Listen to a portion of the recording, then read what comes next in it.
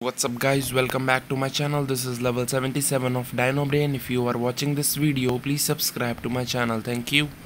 Now firstly press your finger on the right arrow to move the clock here. After that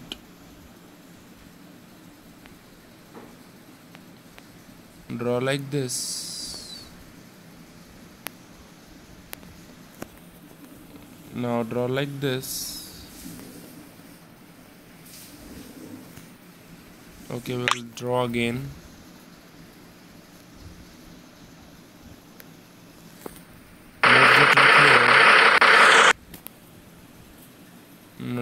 Draw like this.